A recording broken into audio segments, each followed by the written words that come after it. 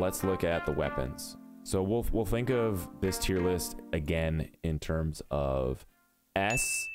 This is actually going to matter more because I think that this this this will actually be things that need a nerf or should probably get some kind of a nerf are an S. Things that need some kind of a buff go into D. And the point of balance is the B tier.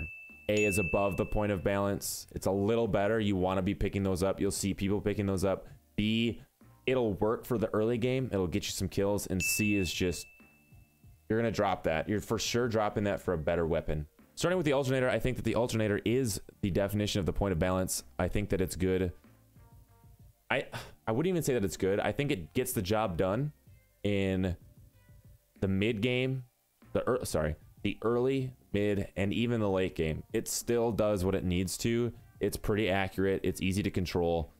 You can still get off good damage with an alternator. You're probably going to want to drop it for something better. And that's what would go into the A tier. And you're probably going to pick that up over something else, which would go in the C tier.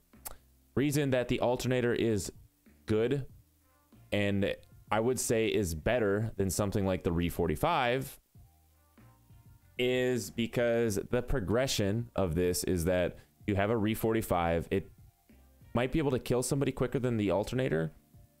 It's a little harder to control. It's a little shorter range, but it doesn't have a stock attachment. And a lot of times you'll see that the upgrade path for this that you want to be doing with your weapon is a Re45 to an alternator to an R99 or an R301. And I think that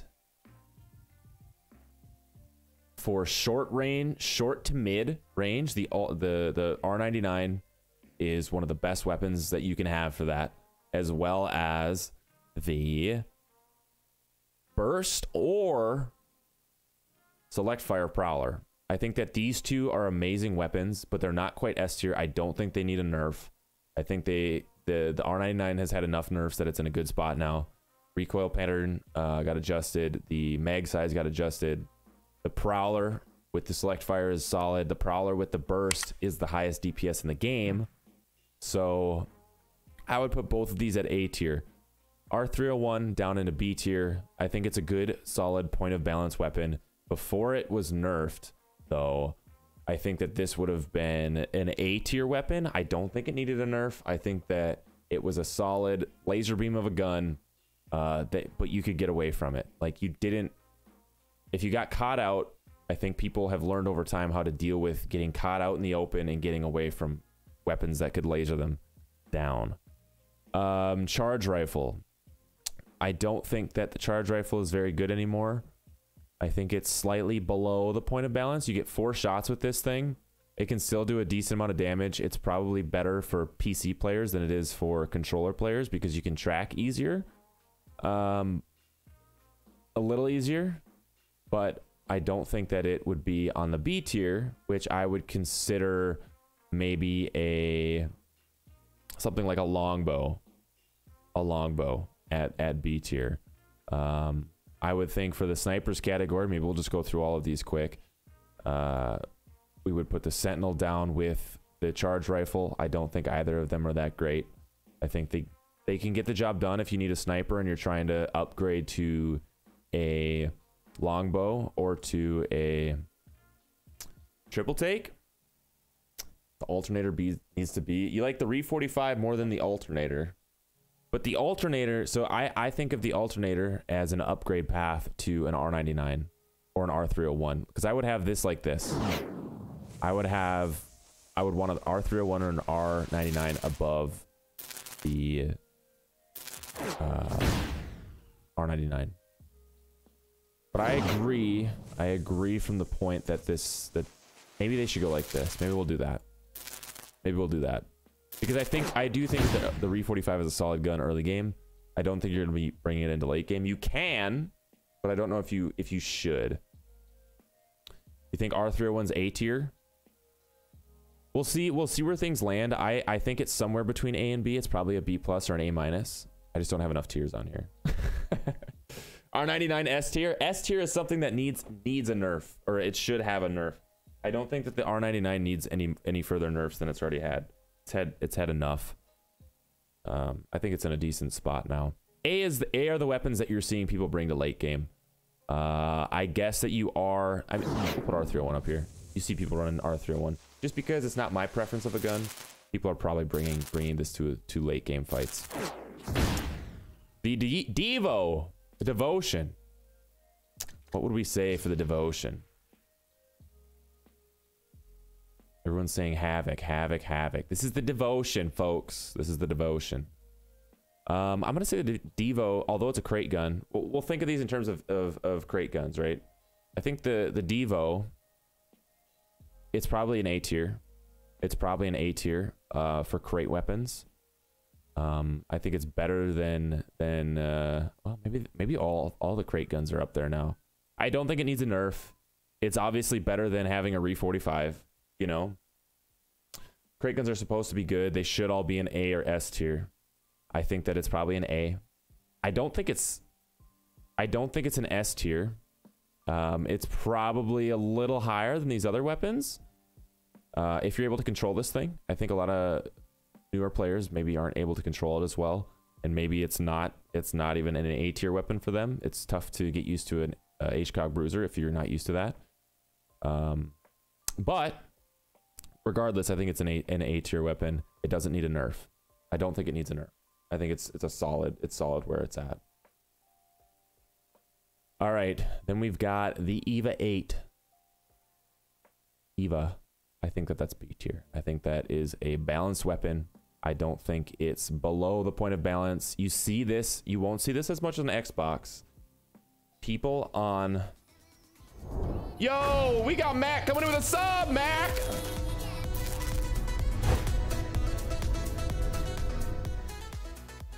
Mac, thanks for the sub, man. Appreciate the support. I think the Eva is B tier. I think the Eva is B tier. Um, because there's a different weapon. That's just better than it. And we'll get to it soon. Um, but I think the Eva's B tier. You'll see it a lot, a lot on PC. It's a lot more use, a lot more use on PC. The other weapon, of course, is the Mastiff. That thing needs a nerf, and it needs one right now. It needs a nerf right now. It got a slight nerf, a hot fix that came out a day or two ago, but that's all it got. And it was just a spawn rate nerf, so you won't see as many on the map. But it's still just as good as it was. It still can hit for almost 120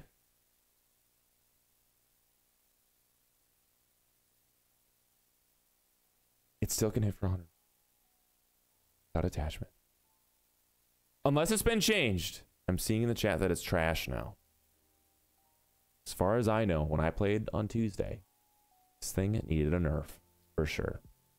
They did not they did not nerf that enough when they took it out of crates. It's still it's still an A to S, but it's gotta it's gotta get more of a nerf.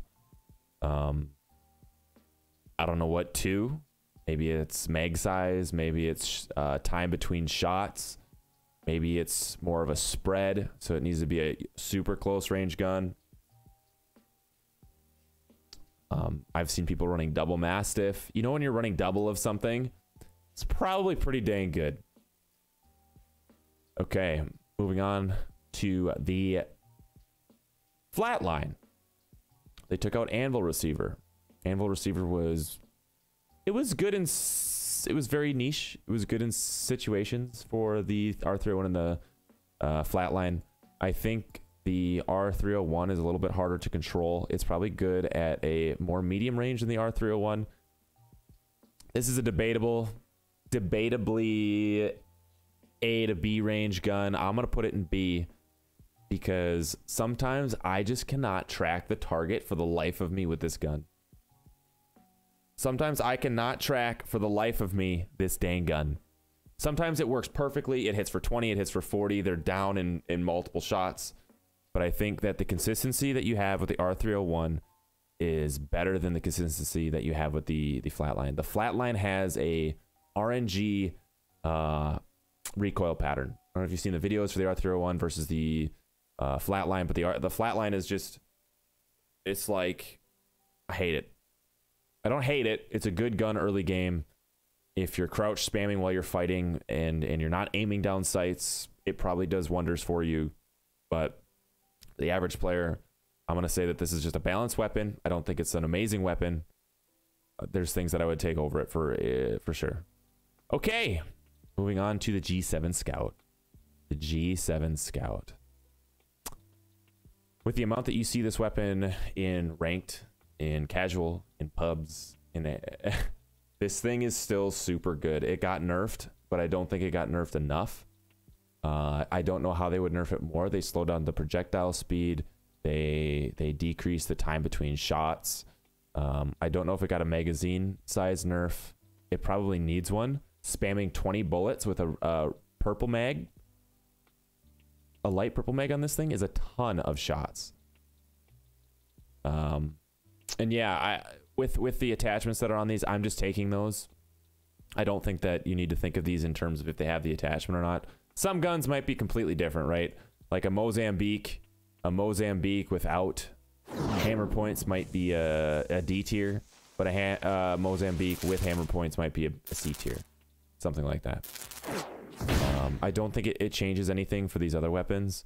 I think that the G7 with a double tap or without a double tap, honestly, I think that it would be more like this because I think the double tap just makes it more difficult to use that weapon. But regardless, that thing is the G7 is is S tier. I think that it needs some kind of a nerf. It's probably a magazine nerf, honestly, that it needs because you can just spam so many shots. It's such a forgiving weapon, and it's such a this this this turns it in from a medium to longer range weapon into a you know what i can go push this person or i can go push this team uh, and kill them at short short range too you know this this makes it even this just increases the range scale from like a short to medium to long to well i guess from a medium to longish range to a short range and even then still this thing is still a good short range uh, okay, the Eva, the Eva, I wouldn't change the Eva. I would still keep that in, even with double tap. I think this thing shoots faster with a purple, um, not choke, purple bolt. I think it still is more DPS with a purple bolt than it is with double tap. They may have changed that over time, uh, but I remember that being at least the rumor, the confirmed. I forget. The Havoc. All right, Havoc. All right, Havoc.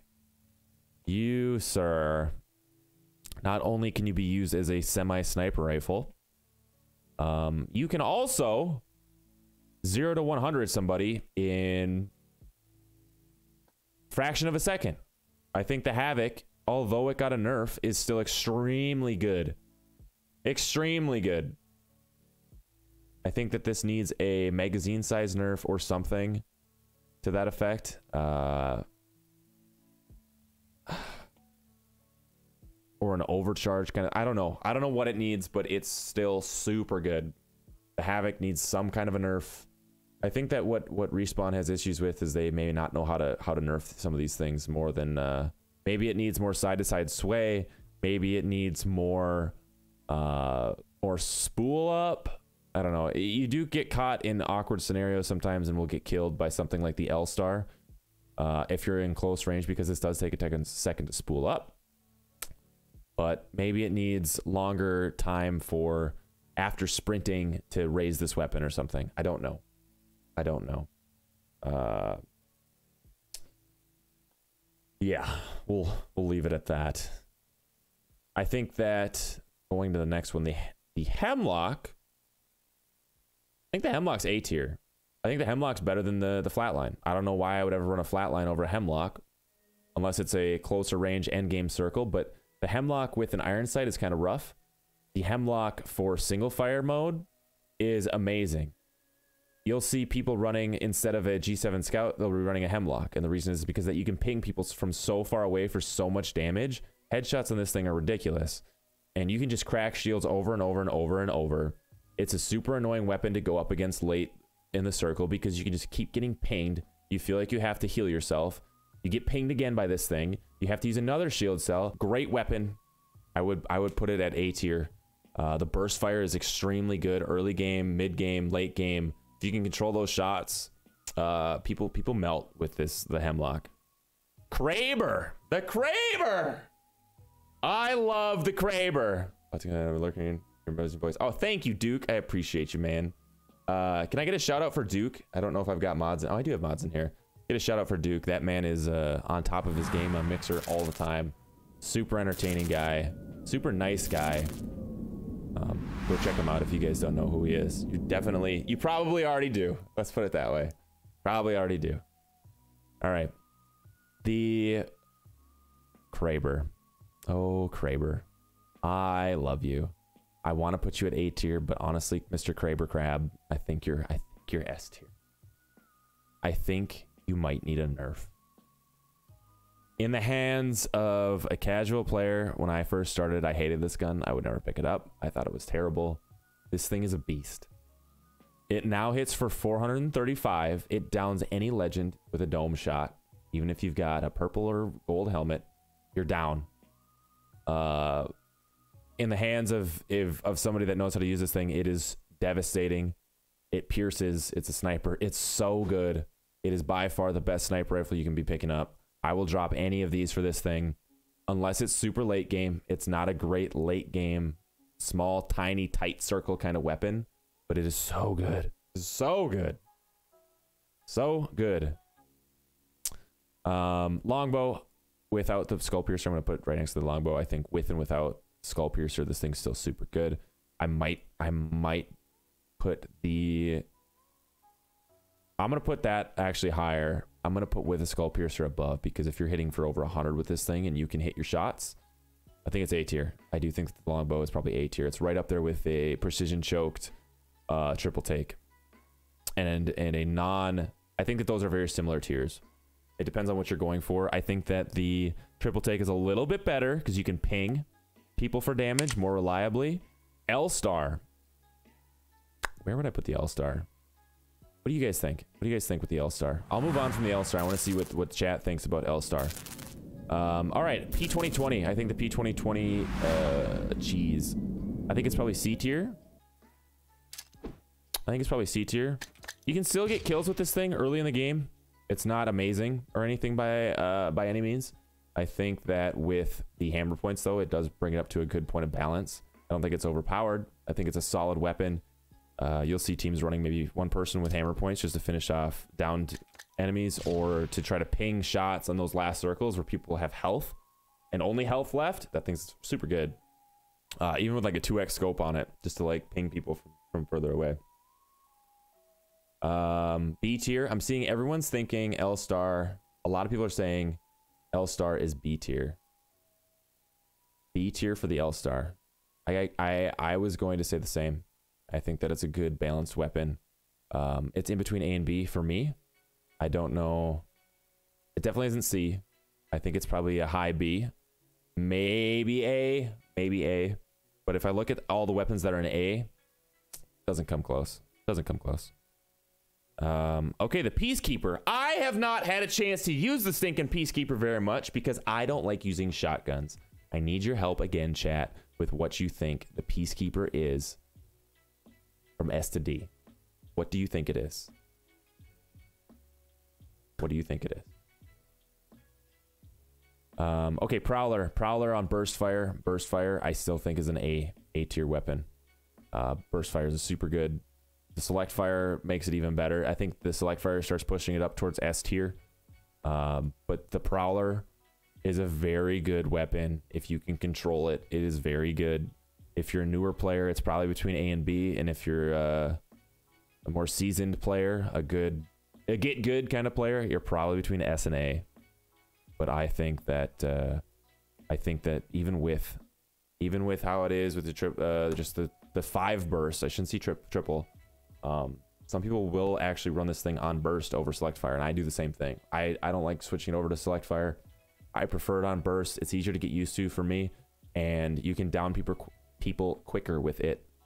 It's probably not as consistent, um, but I'm not looking for consistency when I take that thing out. I'm looking to burst somebody down as quick as possible. So we'll leave that there. All right, the Peacekeeper. I'm seeing S tier on the Peacekeeper. Peacekeeper is roughly balanced. I'm seeing S tier and A tier. PK is A tier. God tier. Okay. So of the shotguns, if we have the Mastiff and A and S tier, do you think that the Peacekeeper, thinking that it's a crate weapon, is it nerf worthy? Do you think it deserves some level of a nerf? With even with it being a piece uh, a crate weapon. The character package buff it is insane. I haven't really even used it.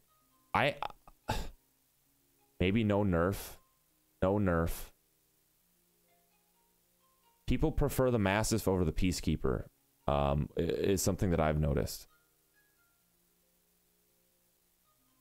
It can be used in a little bit longer range fight. I don't know if it needs a nerf. I, I, I got to stick to what we originally talked through. I don't think that it needs a nerf. I also don't think that the Kraber really needs a nerf. Right? Does anyone think that the Kraber needs a nerf? I don't think that the Kraber needs a nerf either. Think the Kraber needs no nerf on the Kraber? I'm gonna... I think the Kraber does need a nerf.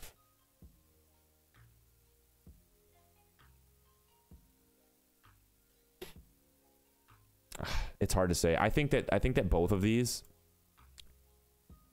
I think that both of these are right on the verge of potentially needing a nerf and not needing a nerf. I think the Devo is solid. The Devo is super solid where it's at. I think the the PK is more forgiving than the Kraber.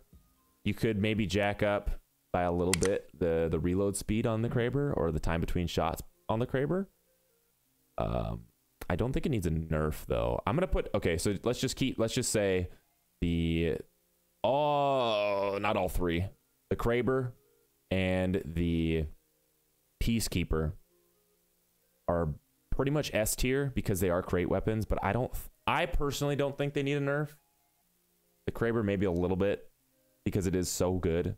The Peacekeeper maybe a little bit, but I haven't used it, so I can't really speak to it too much.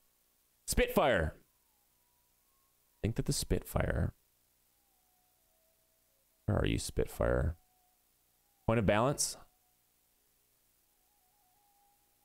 Point of balance. Do you think that's the point of balance? I think the Spitfire is pretty balanced. Going up against a squad of Spitfires, though, I kind of hate the thing. R99 should be S tier. You think that? Do you think the R99 needs a nerf? I think it's. I think it's kind of. I think the Spitfire is kind of balanced. I think it's in a good spot. I think the Spitfire is in a good spot. Uh, okay, the Wingman. Okay, so here's the thing with the Wingman. This tier maker in tier list has it with a skull piercer. But I think what's more important is the mag. if you don't have a mag on this thing, it's tough. Uh, it's tough. I think it's a balanced weapon. I would pick up every single one of the weapons in A tier and S tier before I'd pick up the wingman. But that said, hold on. Hold on. With the skull piercer, I think it gets up into A. I think it's better than the weapons down here. I think it's right around here with a, with a skull piercer. Um, you can get shots off quick. I think it's I think it's A tier. You'll see a lot of pros still running this thing. You'll see people in ranked running this thing. I'm gonna go with A. Without a skull piercer, I'm gonna go with B. I think it's a balanced weapon. You really need the mag increase. You need a you need some kind of a heavy mag on this thing. I really think you do. Um, it's super unforgiving. You need to be placing those shots, taking your time. It's it's one of the few guns that I feel like you really just need to like. Some people just want to spam. I got to get that shot off, but it's like boom. I know where you're to be, boom. Sometimes you just got to slow it down with that thing uh, and make sure you're placing your shots. When it had 12 shots in the mag and headshots were doing over 100 damage, I have a few clips of that from way back in the day. That thing was S tier. That thing was S plus, S plus plus. So good. No damage drop off either, I think. It, whew, whew. I think it was so good. It was so good. All right. So that's that's what I'm going to go with for the tiers of weapons in season 5 of Apex Legends. Um we're what about halfway halfway through the season or close Not even close. Maybe a third of the way through the season. Yeah. That's that's it. That's a wrap. That's it for the tiers. All right. Cool. Let's get some music playing again.